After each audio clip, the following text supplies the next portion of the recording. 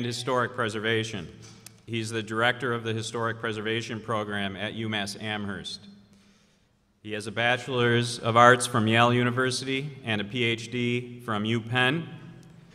He is a Rome Prize Fellow, a Guggenheim Fellow, and a Fulbright Senior Fellow. So he's been around the world and he's examined and analyzed the built environment around the world and the importance of preserving that built environment for the disciplines of history, again, environmental science, urbanism, uh, maybe even uh, relevant to psychology, the way we organize ourselves. Uh, Dr. Page is the former president of the Massachusetts Society of Professors and a founder of Phenom, which is the public higher education network of Massachusetts, which proposes and actively supports the idea of free public higher education for students in Massachusetts. How many people are interested in that? Should be everybody. Professor Page is not only an academic sequestered in the ivory tower, he is an activist, which Phenom is an activist pursuit. He is also a key figure in the 110,000 strong Massachusetts Teachers Association and an activist in historic preservation. He has two books that he's providing us to go into our library Why Preservation Matters, which some of you read chapter six of for today, and Bending the Future The Creative Destruction of New York City. So please welcome Dr. Page. Thanks, Matt. Good morning. Thanks, everyone. Thanks for welcoming me to Andover High. Um, this is, I'm really, really pleased to be here and glad that Matt invited me. In fact, I even wore a tie, which I don't usually wear when lecturing, except that I know Mr. Bach always wears a tie, so I thought I would do that. So before I get started talking about the past and how we think about the past, I want to make a little advertisement for your state university in UMass Amherst. This is our new architecture and design building. So I hope some of you, as you think about colleges, you will think about coming to UMass Amherst. It's a fantastic facility, and, and if you haven't visited the campus, come out and feel free to write to me, and I'll show you around. One of the other books I've written is a guidebook to UMass Amherst. All right, I want to talk about something really controversial today, and that is something you may have heard about, may have read about, which is the debate over Confederate monuments. And what do we do with these Confederate monuments from after the Civil War? And as you know, there's been big debates. If you've heard of Charlottesville, there was a riot there. People were injured. Someone died. Two people died in that. And that was started over a battle over whether to take down a statue of this guy, Robert E. Lee, the, the main general of the Confederate Army. So that's what I'm going to get to. I'm going to ask what we should be doing about that. And let me tell you, I'm going to make an argument. I'm, meaning, I'm going to have a thesis I'm going to tell you what I believe, and then I hope that we'll have some time at the end for you to ask questions and maybe challenge that. It's a big roiling debate, eh, but, and I want, I want to hear what you have to say. But I first want to give you a quick background on what I do and what historic preservation is.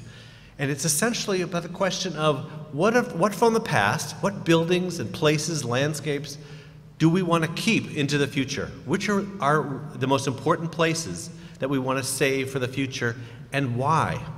And who gets to decide? It's a really big question, and the Confederate monument question is just one aspect of that debate. So, this is one of the greatest public buildings in the United States, and I'm afraid you will never see it because this is Pennsylvania Station. If you've ever taken Amtrak into New York City, you, or the Long Island Railroad, this is, this is what you might have seen before 1966, but unfortunately they decided to tear it down, and they left it as a ruin.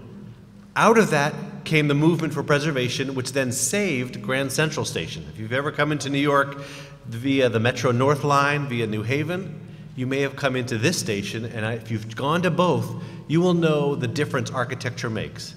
Because that first one, it's like entering the city via the pipes of a toilet bowl, whereas if you enter through Grand Central Station, you feel like you are a god, a great citizen entering our greatest of cities. So preservation, in a way, got its start, or at least its modern start, fighting to preserve the great buildings of this country. But it's also gone way beyond that. So preservation also cares about this place, somewhere you may have seen, know about. This is the Stonewall Inn, which was the launching pad, kind of the catalyst for the modern um, gay rights movement, because there was a big riot there, and out of that riot, police brutality, came the modern um, gay rights movement. That is now a national historic landmark. That's preserved because it's a crucial part of our history. But also all over the country, in Andover, in Boston, and cities across the country, the preservation movement also tries to save the regular buildings that make nice streets and nice blocks and make the kind of the fabric of the city. So the anonymous buildings that you may not think George Washington never slept there, nothing crucial happened there, but together they make they make our cities livable. So that's what preservation has been about. And it's about new things today. And part of what I argue in the book that I know some of you read a chapter from is that preservation is also crucial for other reasons. It's crucial, for instance, for sustainability. We're all concerned about climate change, and the usual answer at my alma mater at Yale University is to build a new building that is produces lots of energy and uses very little energy and they have they're very high tech focused but that's not the way actually we're going to get ourselves out of this climate crisis. You can't build your way out of the climate crisis. You have to preserve your way out. You have to conserve your way out. So a place you may have been to but I, if you haven't i urge you to go is holyoke. It's like it's like Lowell West, one of our great industrial cities, but out in western Mass. And in that city, they have these canals. They took the Connecticut River and they diverted the canals and they put them under the buildings and they turned these turbines. And that still, those turbines, under that water flowing down, produces most of the energy today needed in Holyoke, even though these are turbines and canals built more than 150 years ago. In other words, a place like Holyoke has to be a place that we save and reuse. So, preservation, saving old buildings, is ironically a centerpiece of fighting for a more sustainable world. Another issue is that while preservation has saved the exteriors of buildings and made this nice neighborhood, this is Greenwich Village in New York City, one of the problems we have in this country is enormous inequality. And if you notice, this is a house that right there, oops, this house here, and it's sold, sold for three and a half million dollars, and now it's actually worth more like five million dollars. In other words, preservation saved the buildings, but the neighborhood became still a place of enormous gentrification. That means a whole bunch of wealthy people moved in, and poor people were kicked out. So the question is, and this is Jane Jacobs, the woman who lived there in that house and saved the neighborhood, but actually got transformed. So, one of the big questions in this movement for preservation, as we debate what do we save, how do we save it, is how do we take, how does preservation save these buildings? This is actually my mother's house in Camden, New Jersey, still standing. It's a total ruin inside. How do we save those in a way that actually helps people, not the wealthiest, but people at the bottom end of the scale? And so, part of what I write about is you go to uh, other places to find really interesting models. In Cuba, in Havana, Cuba, where I spent some time, they have trained 7,000 young people in how to do the work of preservation, and then they have renovated the houses in old Havana with good jobs, and they get to live there as well. In Berlin, a place that my father grew up actually, a lot of these old buildings were completely derelict. These were old warehouse buildings, you know, factory buildings. They turned them over to people to do self help housing they re- renovated themselves, they got to live there, and it's revitalized a whole neighborhood. South side of Chicago, Theaster Gates, an African American artist and activist, policymaker, took over old abandoned buildings, turned them into cultural centers and libraries. Or Rick Lowe took these shotgun shacks. Shotgun shacks are these long houses in the South. They call shotgun shacks because they have just a, a series of doors, so you could shoot a bullet straight through the door. It would go in the front door, out the back. He took them over in the, one of the poorest areas of Houston and turned them into artist studios, housing, and revitalized that community. And in this city, rather in Boston, nearby, I urge you to check out a group called City Life, Vida Urbana. And what are they doing? They look at old buildings and they don't look at the architecture and say, oh, we need to save it because this is a beautiful old building. They look at it and say, this is housing for um, lower, uh, for working class people, and we can't let Bank of America and other big banks foreclose on the property and kick people out. Many of you may have heard all over the country, big banks have been kicking people out of their homes. And so they stand out there and they block the removal of people from those homes. So this is a preservation movement as an activist movement. This is preservation saying, yeah, we care about the building, but we care equally about the people getting to stay and live in their homes and their community. Then finally, and this is where I'm going to turn to, to, our, to Richmond and, uh, and uh, this question of Confederate monuments, is that one of the biggest things we face in a, in a world, in a nation that's so diverse, is looking straight at our difficult history the history of violence and discrimination, of slavery, and look at it and look at it in places like this, like the Japanese internment camp in California. Or you can look all around the world and see the ways that countries have tried to deal with their past, like in Berlin, where they've tried to build monuments or more monuments like this to the Holocaust that they perpetrated. And they've saved old ruins in order to bring people there so that they have to look at it and understand that this was the secret police of the Nazi, of Hitler's Nazi um, administration. And they've employed artists of all types. So preservation is also about how we tell stories. If I save a building and you have no idea why it was important and what happened there, it might as well be torn down.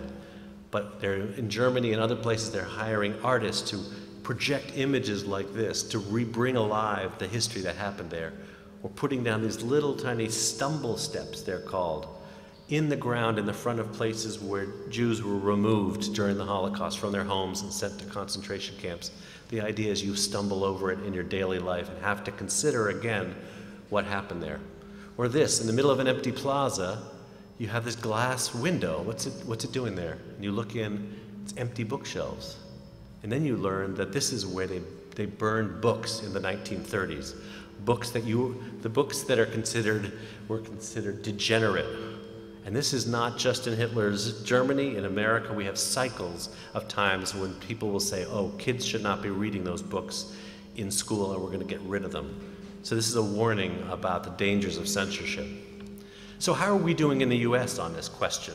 uh, that is confronting our difficult places. And we have a lot of difficult places. For all the glories of this country, it is bathed in blood of lots of conflict over centuries. So in Money, Mississippi, a site of an awful, awful murder of a young person, Emmett Till, in the 1950s, this was one of the launch, launching pads for the modern civil rights movement. When I went there to see the place where he was murdered, it was this rundown relic and they've stabilized it now, so at least something has changed. They put up a plaque and to at least tell the story of what happened here.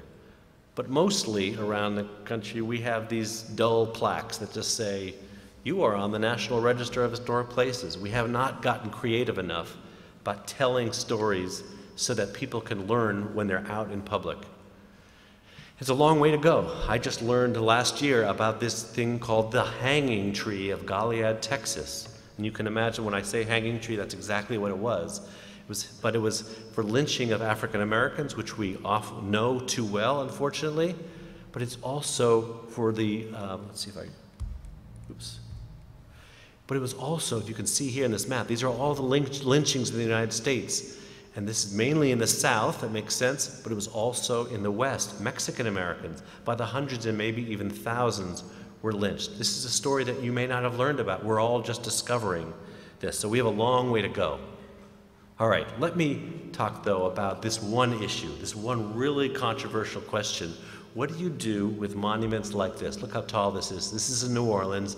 That's Robert E. Lee, the general, the, the, main leader of the army of the Confederacy. Remember, the Confederacy broke away in, in, and, uh, in 1861 and wanted to secede from the United States. That led to the Civil War and 600,000 people dying. And so there it is in New Orleans. There was a decision made by the mayor and the city council to remove those statues. And why was that? And was it, was it the right thing to do? They said, it, not only do we have to tell, we can't just have this statue here anymore. And many people said it's because Robert E. Lee fought to defend slavery, and it's an insult to African Americans in that city, but maybe to everyone, to have that monument up there. Obviously, it's very, very controversial, and many have fought back, and that's what's leading to some of these confrontations. This is just a reminder of these are the states that seceded in the Civil War, and that is where the heart and soul of this debate is happening. I should note there are Confederate monuments in different places all over the country, including one in Massachusetts, a little island off in, the, in Boston Harbor. There were buried a number of Confederate prisoners, and so there is a little monument um, to the Confederate prisoners in this state. And there, we have other monuments that, also, that are also controversial in their own way. Right near Boston Common, you will see this monument to Abraham Lincoln. In some ways, it seems like, of course, there's Abraham Lincoln, he freed the slaves, there's a slave kneeling before him. But is that really the best message we want to send? That Lincoln freed the slaves? That it was only the, the benevolent white man who, who lifted up these slaves, when in fact, the history is that slaves, in a large measure, freed themselves and forced the issue upon Lincoln. So we have our own controversial monuments, even if we don't celebrate the Confederacy up in the North. And I urge you on a, on a trip sometime to go, if you haven't been there, right below the State House dome on the top of Beacon Hill is one of the great monuments to the 54th Regiment Army, the African American um, army that left from Massachusetts to go fight in the Civil War.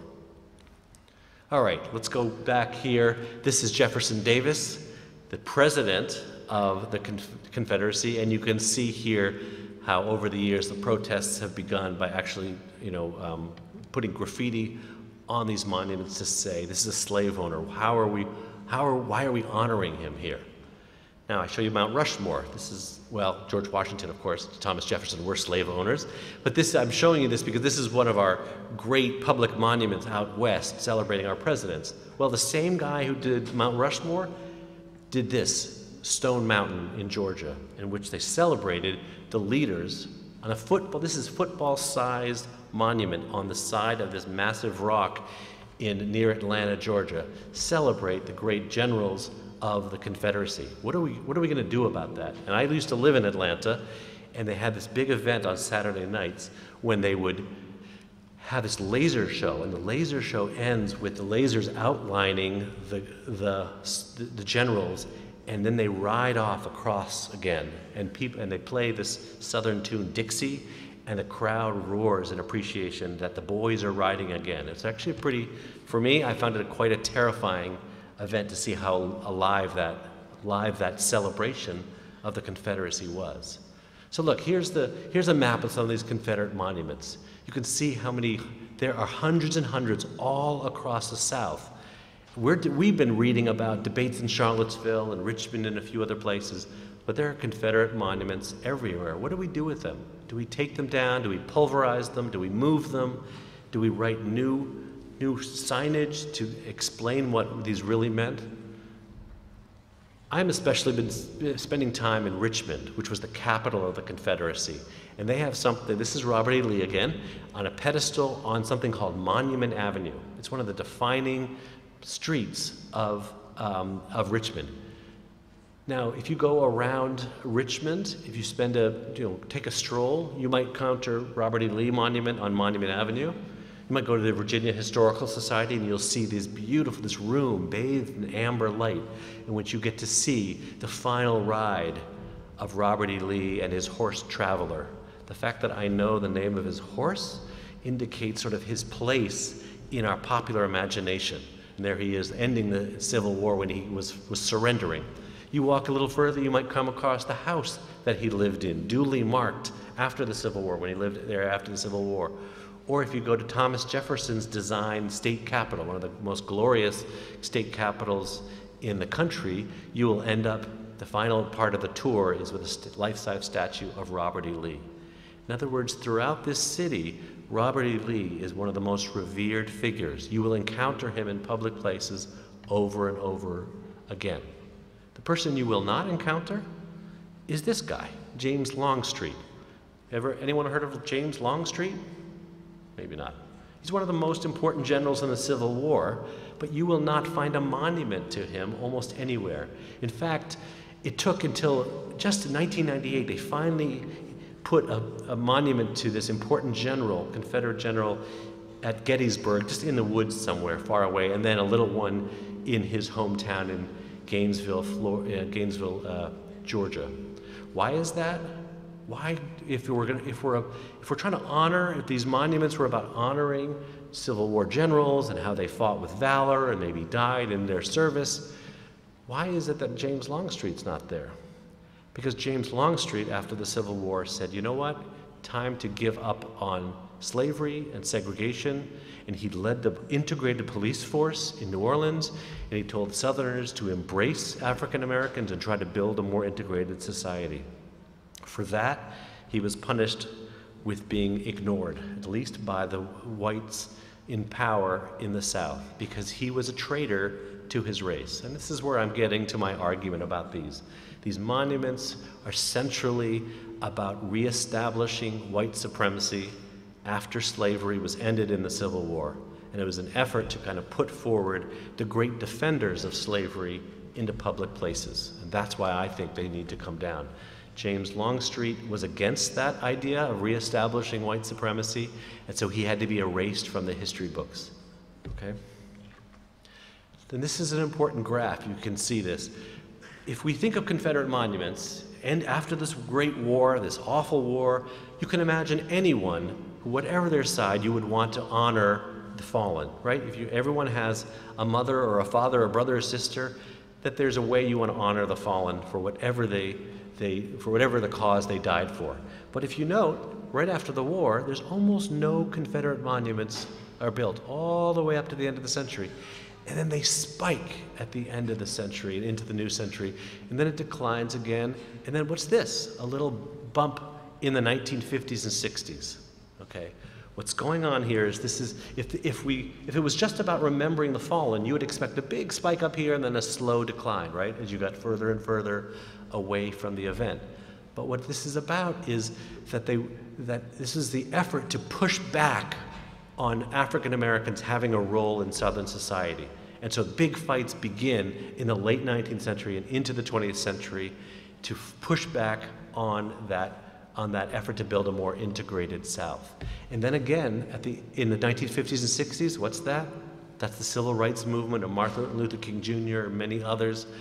And so, as a way to push back against that movement, those who were in power in the South said, let's build monuments to the Civil War as a sign about who's really still in power here.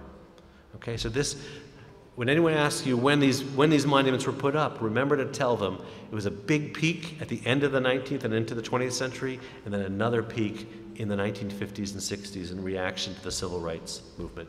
And if you need any further a reminder, this is a monument to the Civil War in, um, in New Orleans, and you may see it here. It's a little hard to see, but it's a monument to built in 1991. Let's see if I have a more detail. Let me put it back here. Um, it is about reinstating, recognizing white supremacy in the South. Sometimes we hear that phrase, white supremacy, and it seems like it's a phrase of today. But this is a monument from 1891 in which they were saying, we're going to reestablish white supremacy in the South. This is a very, very troubling issue, and it's worth noting because not all the monuments said that. Some of the monuments tried to pretend they were about states' rights and about the valor of the fallen. But I would argue, um, and this is we can debate, it was centrally about reestablishing white power in a South that had could have gone much more integrated. And it took another century, and frankly, we're still involved in that question of how integrated and equal a society we can build. So there is that monument coming down, and there is the Robert E. Lee monument coming down again in New Orleans, and there's the counter protests. And there is an there is a, sometimes violent and sometimes angry, sometimes principled, or sometimes deeply emotional effort to defend these monuments. And I would argue we have to think carefully about what are the motives of people who want to defend these monuments. Some feel deeply this is about heritage, this is about honoring fallen soldiers. I would argue that we can't avoid what those monuments stood for when they were, when they were built. And you can see here in, in uh, Richmond, Black Lives Matter movement has, a, has made a focus of this. And there is Monument Avenue, there's the Lee Monument, and it goes on for a mile. It's considered one of the great streets of America, right? There's a reason why they built this beautiful street with these monuments. It was to establish this as the, the establish that the, this great city would be built on the legacy of the Confederate generals. It's a very powerful and disturbing idea. There's Jeff Davis again, the president of the Confederacy. He had the Confederate White House in Richmond. There was something called the Confederate White House where he led that brief country. And you can see here, it's about Jefferson Davis, you'll never see the word slavery here, right? Defenders of the rights of states, exponent of constitutional principles. This was an effort to transform what the Civil War was about through these monuments. So the one in New Orleans was quite honest, we're about white supremacy. Well, a little bit later, they got a little more subtle and said, well, actually, we were never fighting to defend slavery. We were fighting on constitutional principles to protect states' rights, and, um, to, and it's the basic defending the Constitution. So this is an important part of the transformation of what the Civil War was about, at least an attempt to tell a new story. One effort to transform Monument Avenue was to put up a statue to an African American, Arthur Ashe, son of Richmond, great tennis player. But for many, this has not been enough. Just adding on another monument doesn't make up for the ones that are offensive that are already there.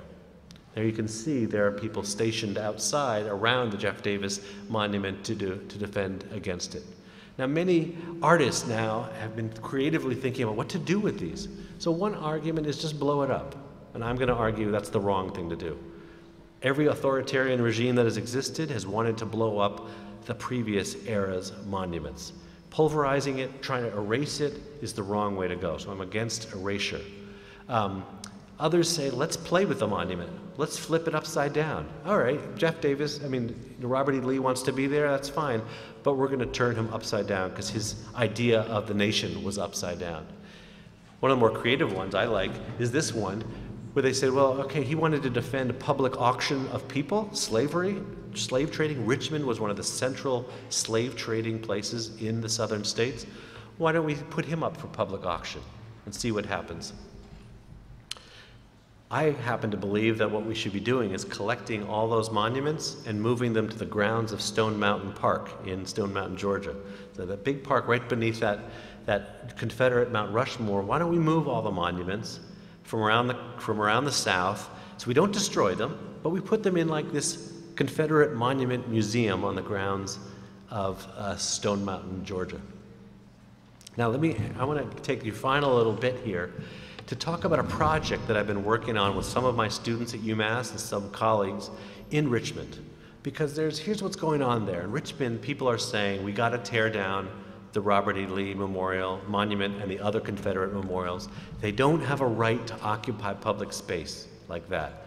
We should be honoring, we should be putting in public places the things we honor, and we don't honor what they stood for. But activists I've been involved with say, yeah, that's only part of the problem. We can't just tear down those monuments. We've got to also tell the story of African Americans, of enslaved people, and the struggle against slavery in that city. So they are focused on a place called Shockoe Bottom. And Shockoe Bottom is here in the lowlands. They call the bottoms is where the river was, a sort of lowlands of the city. And in that area, and that's so here's here is the that lowlands. Jefferson's monument, I mean, the state house is up here. The the uh, the Jeff Davis White House is over here, all in sight of Shockoe Bottom. What happened in Shockoe Bottom? It was 300,000 people bought and sold. It was the second largest slave market in the United States in the 19th century. And there you see a famous image of slavery taking, of the slaves being sold. And um, if you can see what this is, what this indicates, there's a whole industry. There was a people who clothed the enslaved people in preparation for their sale. This is not just this is a whole world a whole ecosystem, an e- economic ecosystem that frankly is behind a lot of the wealth that still exists in Richmond and Virginia. And this is what it looks like today. I 95, the big highway that starts up here in Boston, you take that road far enough, you will travel over slave trading sites, you will, sla- you will travel over the graves of thousands of African Americans who died while in captivity in Richmond paved over, there's a train, there's parking lots. Virginia Commonwealth University took over uh, one whole section under which were the, were the graves of African Americans and turned it into a parking lot. And the activists have tried to uncover this history, doing makeshift memorials for where the burial ground was. What you're seeing up there, this is the embankment for I 95. There's eight lanes of highway right above there and on top of these former graves. This is Ana Edwards, an incredible hero who has been fighting for 15 years now and to some success to tell the story of what happened in Shockoe Bottom as an antidote to what, what Mo- Monument Avenue tells. And what you're seeing here is her, one of her big successes. She took back that parking lot and at least turned the former African burial ground into a grassy area. And there's an effort now to build a memorial park. And there she is with some of the activists who have been fighting that uh, battle. This is what they wanted to build on top of this slave trading site and burial ground, a minor league baseball stadium. This was the city's big push. And Ana and her activists said, absolutely not. You are not going to once again destroy. You covered over the history, but you are not, not going to do it once again. We're to, we want this history told. And so there is that, that, that with their first great success, and now the battle is how to tell that story better. And this is part of this place is so important because of an enslaved man named Gabriel, who in 1900 led a revolt, a failed revolt. He was killed, hung right here, but he led an early revolt against slavery. And there is one of those parking lots, and they've started to do archaeology to uncover these slave sites. And there you can see one of the slave pens and trading places right beneath I 95. And they, this fight continues on, and they are saying this is sacred ground and it needs to be protected. This is preservation, uncovering the stories that have been long submerged in order to tell a fuller story of the city and our country. And they take this walking tour I've gone on where they go to the different sites in the neighborhood, including this gas station under which there are the remains of a slave workshop and slave, um, slave prison. We were brought down to, to try to develop a plan for a memorial park, this nine acre memorial park, to try to tell that story and honor the past. And here you can see the overview. So this is I-95. This is the train train line. These are some of the remaining uh, parking lots. And we've built on the African burial ground a park to remember the people who were there. And we are imagining instead of Monument Avenue, a grove of lights around a plaza, and then a long digital wall where we would tell, name all the, as many enslaved people across Virginia as had been found in the archives across that state. So give people actual names who've just been treated as numbers, including Gabriel, the leader of that revolt. And here is that area that we have, our, our students really were essentially to designing this con- contemplative place to, to honor what the history that happened there. And we want to do what they did in Cuba, which is to build this center for, where students can learn about urban farming, where they can learn about preservation, where they can learn about sustainability and get jobs doing that work of repairing and restoring um, Richmond. And then one of the final things I'll, I'll point out is on these big, tall columns we want to create. We don't want people thinking of Robert E. Lee when they go to Richmond. We, they, we want them to think of Shockoe Bottom. So along these tall lights, what we've done, if you can, a little bit hard to see, but we have created a kind of punctured steel in, to create a pixelated image. So if you can kind of see, this is the image of Gabriel that you saw earlier on that digital wall. So that from a distance, from maybe I 95 or from up on Broad Street near City Hall, you will look down and you will see on all these columns African Americans who have been long erased from history now in places of, of positions of prestige and pride so that people going by will not think, oh, yeah, this is the home of Robert E. Lee and Jeff Davis. They'll go, no, this is the place of Maggie Walker or, um, or Gabriel Prosser. And we will start to change the story about what, what Richmond stands for. Indeed, there is change afoot. This is Maggie Walker, the first female bank president anywhere in the United States. She also happened to be African American led a series of companies and banks that were an anchor to the African Americans of Richmond. So there is progress being made. We're starting to expand like a wide angle lens of your camera to start to look at who really mattered in the city. And it's important that we do that in public places. But I'll just end with this kind of, you know, just a warning. There's still so much work to do. This is Evergreen Cemetery in Richmond. So even though all this debate has been going on in Richmond, look how over completely overgrown is the major African American cemetery in in that city. In other words, literally the people of the past who are marked here with their names and when they lived and what they did, completely overgrown. So this work, there's exciting work going on in, in trying to tell the history of difficult sites, but the work is so much more work to be done, and I'm hoping that you all will do some of it. Thank you.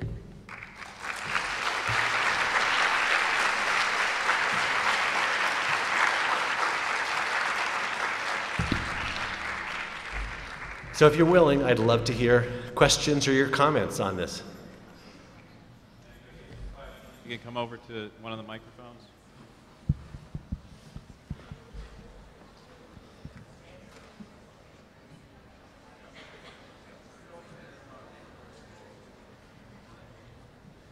Hi, Professor Page. Um, when you told us your plan for um, moving all of the monuments to the base of Stone Mountain, Yeah. um, my primary reaction was that it may become a hub for um, Confederate supporters, It become what? like a hub for Confe- Confederate um, ideals and supporters. What are your thoughts on that? So that's definitely, that's, that's a very good, it's a very good warning. In fact, in, interesting, in Berlin, which I showed you a bit about, they refuse, the city government refuses to actually mark the place where Hitler died. You know, he died in his bunker. They, you have to find it on maps, but it won't be marked because they're worried for exactly that same thing. I agree with that. I think the, the, the greater risk is if we actually just erase that history because it's an important history to remember. In other words, Robert E. Lee needs not to be honored, but he does need to be remembered. And so there is a risk. You're absolutely right, and they will attempt to make it a pilgrimage site. But, but they're already using the monuments as pilgrimage sites already. So, good question. What kind of monuments uh, or parts of history should be like forgotten, or are there any Say the last part. They, what should be forgotten? um, parts of history that maybe shouldn't have monuments built in the first place, if any? Well, I mean, I, you know, in, in my ideal world, we would not have gone through this crucible of uh, ens- enslaving people and then celebrating those who defended it.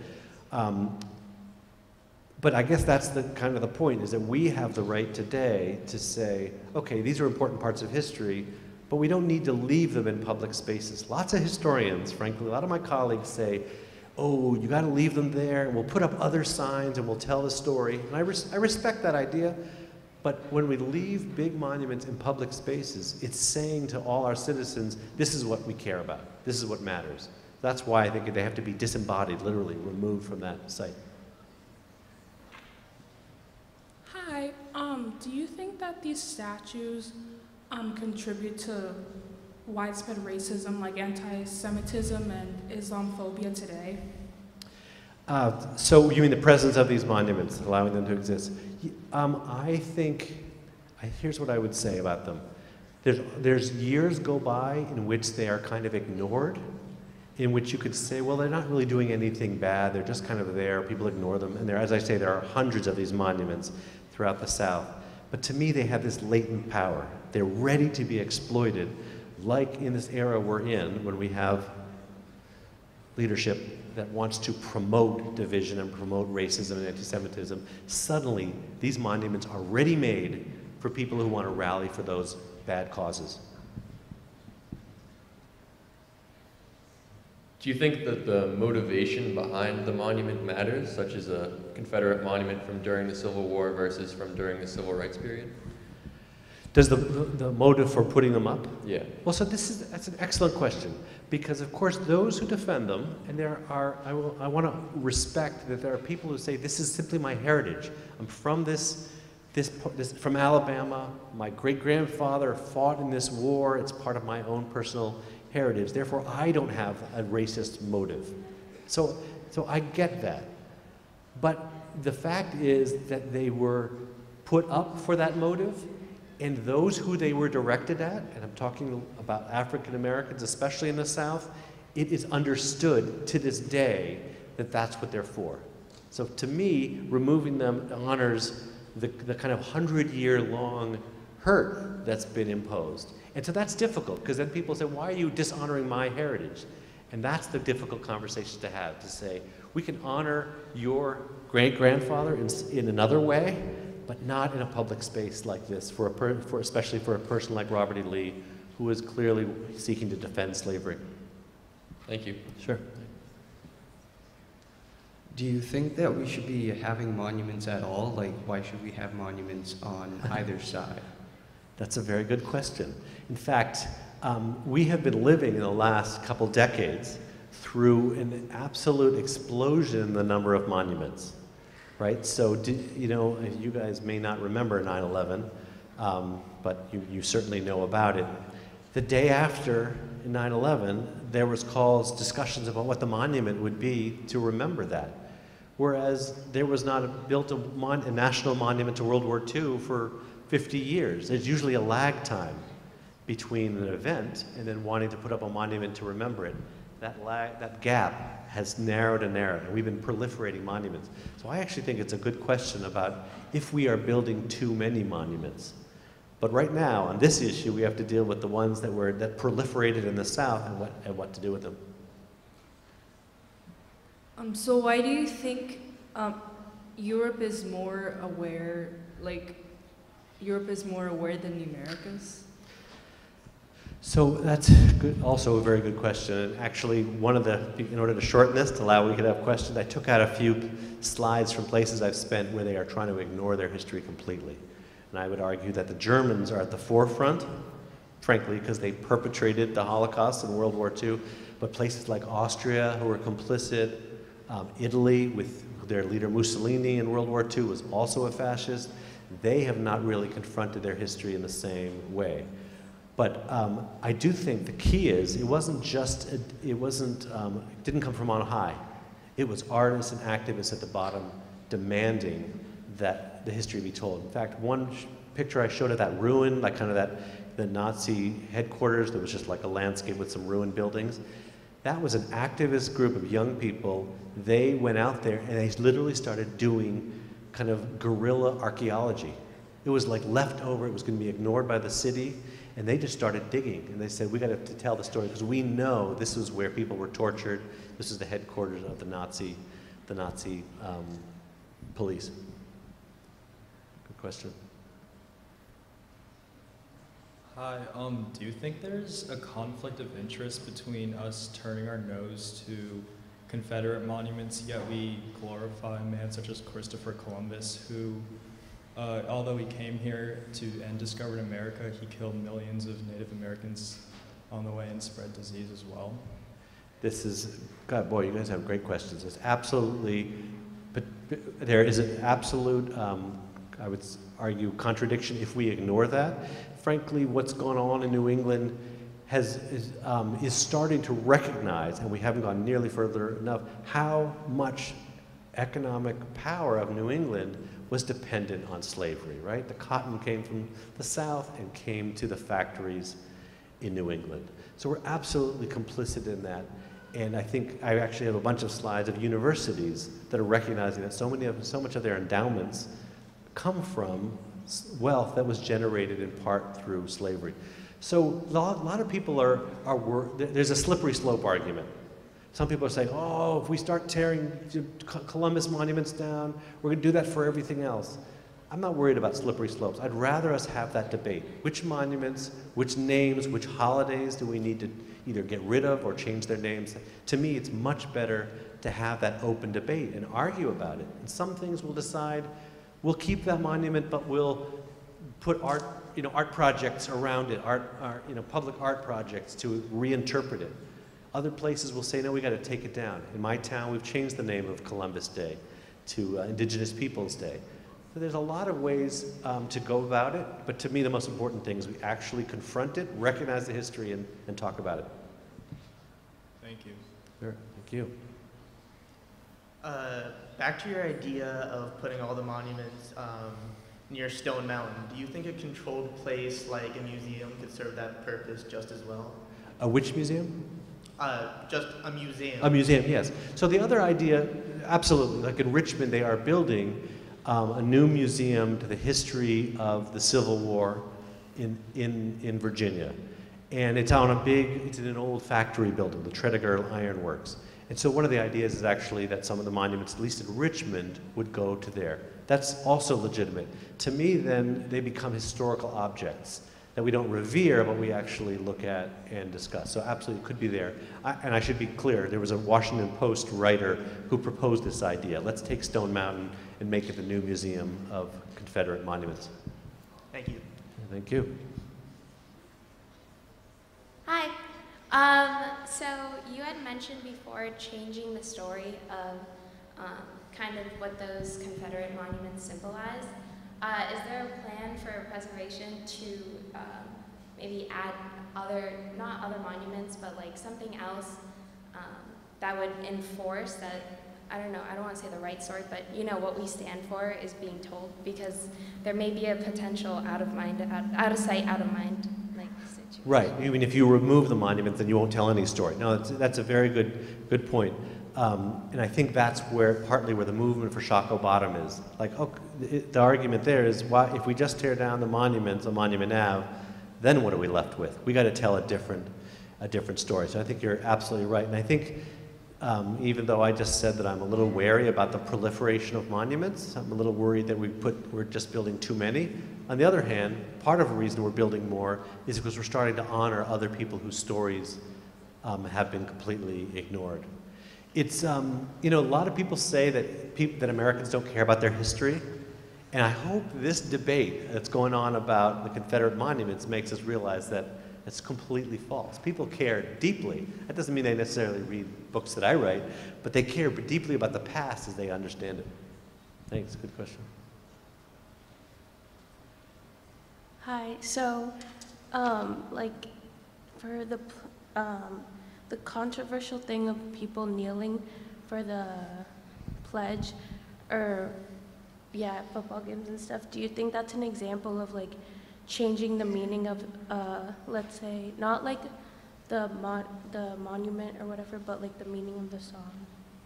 That's, that's, that's a great point. Um, you know, the, some of the monuments I showed, like the projections on the wall or the little stumble stones, this is a movement called counter monuments, monuments that kind of challenge us and push us to re- rethink. And that simple act that Colin Kaepernick started of saying, I'm going to kneel, I'm going that's making it go like, well, what, what are we honoring? What, and why would people feel that they can't honor and don't want to honor that flag?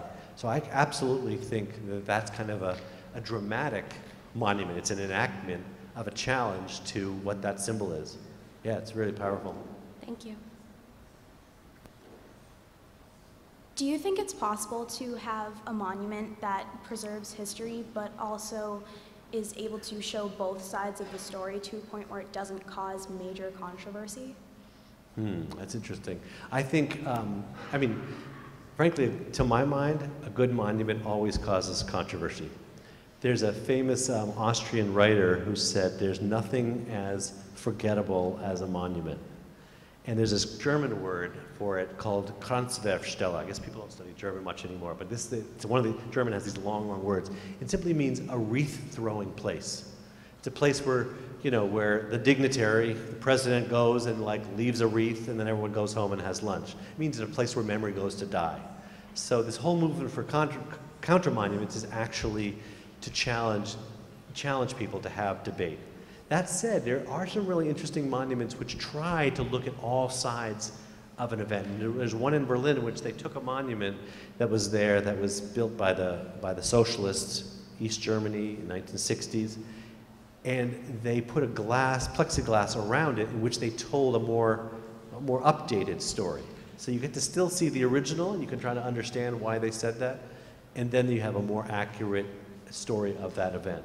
And that does provoke debate. Like, why are there two different stories here? What was the purpose for having, what was the motive for having a very different story? It's good. Good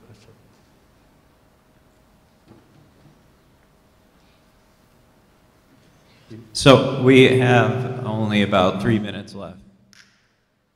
Okay. Anyone else? So um, if we could just give Dr. Page a round of applause. Thank you all.